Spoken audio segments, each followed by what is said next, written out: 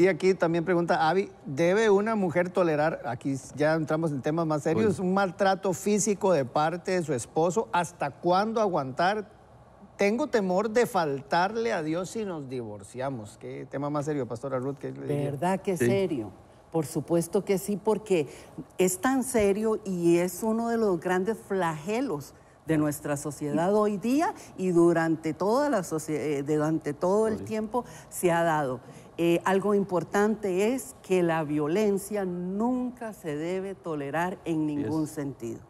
Nunca, nunca, nunca se debe tolerar en ningún sentido y no nos llama Dios a que ni la mujer agreda al marido, ni, ni el marido agreda a la mujer, ni, ni con la familia. Ese es un punto, la violencia intrafamiliar es algo que no, no se debe tolerar. Eh, importante con la persona que hizo la pregunta es que busque ayuda, busque acompañamiento, no le estamos diciendo divórciese, pero quizás sería importante que buscaran ayuda, entrara en un proceso donde su esposo recibiera ayuda, usted también, porque para tolerar la, la- que, que que la violencia, usted también necesita ayuda, sus hijos, si los tienen, porque los hijos vienen a ser víctimas de decisiones de los padres y es importante que toda la familia pues sea atendida y tomen las decisiones, entren en un proceso y después de ese proceso, junto con el acompañamiento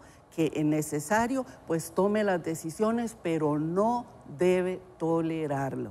No es algo que debe tolerar y no, no le repito, no estoy diciéndole no lo tolere, divórciese ya. No, busque, le repito, busque ayuda, busque acompañamiento, busque y, y para que pueda tomar las decisiones pertinentes. Pero Dios le ha dado una dignidad, dice en Isaías 43, porque a mis ojos fuiste de gran estima, fuiste honorable y yo te amé. Hay una estima, hay, hay un cuidado, hay un valor que Dios nos da y que como seres humanos nosotros tenemos que mantener, tanto los hombres como las mujeres.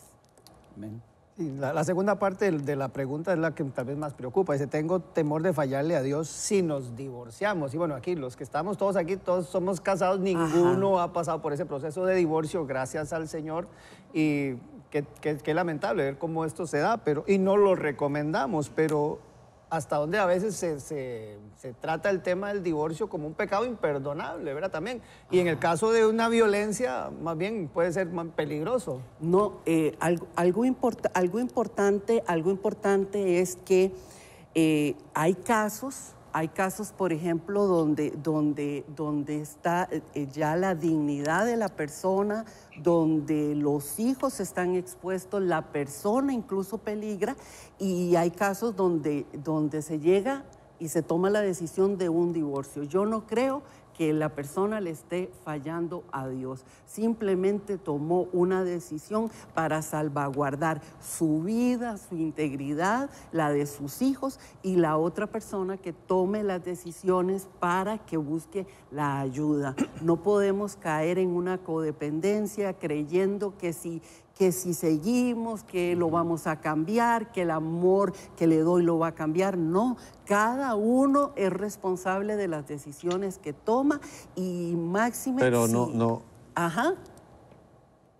no, hermana Ruth, yo Sí, creo que no están usando ese pasaje de que si él quiere seguir con usted, que no se separen, ¿verdad? Que eh, en el caso del que, porque él puede venir a los pies del Señor y todo eso, la recomendación eh, bíblica no puede ser que de ahí estén tomando, que yo no creo, ¿verdad? Eh, yo creo que le está faltando a Dios el agresor, no le está faltando a Dios ella. Por Este, supuesto. entonces yo creo que si por proteger su vida, su integridad, este, salga huyendo, salga corriendo, o, perdón, o echen al, al tipo de, de- de- de- de la casa, que es lo que la ley, eh, eh, ¿verdad? Por ahí iría la cosa. No, pero y- y gra- gracias a Tal Dios. vez con ese otro pasaje se malinterpreta a que hay que seguir llevando palo ahí, aunque, aunque me peguen. Sí, es que por muchos años, por muchos años eh, he escuchado eh, diferentes consejeros que hablan y le dicen, no, quédese ahí, aguante, soporte, esa es la cruz que Dios le puso. No, Esa no, Porque es la tal vez cruz el único caso de divorcio, como, como algunos a veces, es porque alguno fue infiel y que es el único caso porque se pueden divorciar, pero que la, una persona que agreda a otra está siendo infiel, creo que es una expresión más bien lamentable, ¿no? No, Viol- es exponiéndose. Sí, don Juan Carlos. Violentando los mandamientos Ajá. y el, y el precepto de Efesios 5 de que el marido debe amar a su mujer. O Exacto. sea, y se lo dice tres veces en Efesios 5. Pegarle o agredirla no es una manifestación de amor. Entonces yo creo que el problema, como decía bien también. nuestra hermana Ruth, es de que la persona, tras de que es la que sufre, todavía se cree que es la culpable de causar el sufrimiento. Ajá. Se sobrevictimiza. Ella misma se vuelve a cargar de que si se divorcia es por culpa de ella, ¿verdad? Y la sociedad se lo va a decir.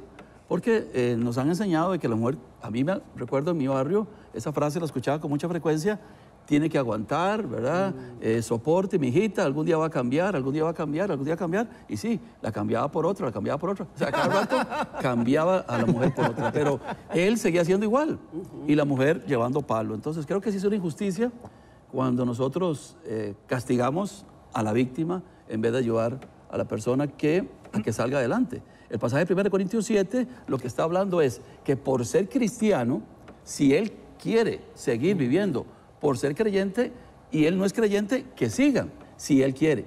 Pero si él le dice que se vaya, pues váyase. O sea, ella no va a decir, ah, no, yo voy a dejar mi fe por quedarme con mi marido. No, dice, si él dice que se vaya, sepárese, porque no fue llamada a esclavitud, a servidumbre. Pero me parece que sería inadmisible aceptar la violencia en ningún término, ni para los hombres, ni para las mujeres jamás. Exacto. Y algo... Y de pronto, Ajá. Sí, Pastor David, perdón. De pronto creo que podríamos hablar de una etapa transitoria, una separación, sí, sin un divorcio primero, sino una separación dando tiempo a que cada uno busque su apoyo individual, pero también como pareja, ¿verdad? Y antes de llegar a la determinación de divorciarse, darse la oportunidad, pero separados, ya que esto también protege a la persona que está Cierto. siendo agredida, o sea, es gua- salvaguardar la integridad física de, en el caso de la mujer que está siendo agredida, pero también dando la oportunidad de una posible restauración. Ahora, si él no quiere y él mantiene sus patrones, pues no, ahí el siguiente paso ya es el divorcio, pero se dio por lo menos una oportunidad segura en una etapa de separación de buscar una restauración. Y de hecho, Sí. Lorena aquí en el Facebook es lo que aconseja, dice, pueden separarse hasta que tomen conciencia viendo lo que está perdón, sucediendo. Pero algo, algo importante es que cuando hablamos de separación, una separación terapéutica, siempre es importante con un acompañamiento y con objetivos claros.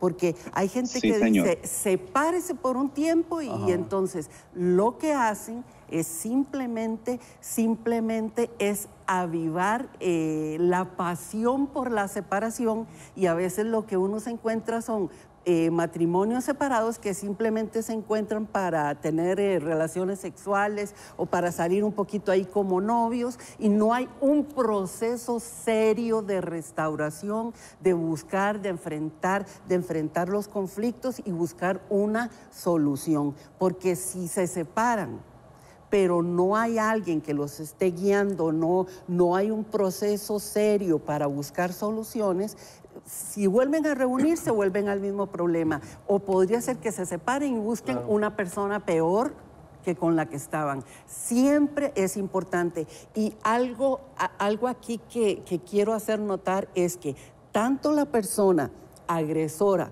como la persona víctima tienen que buscar ayuda, porque si se separan nada más, la persona que ha sido víctima podría buscar otra persona igual o peor, porque hay cosas que tiene que resolver.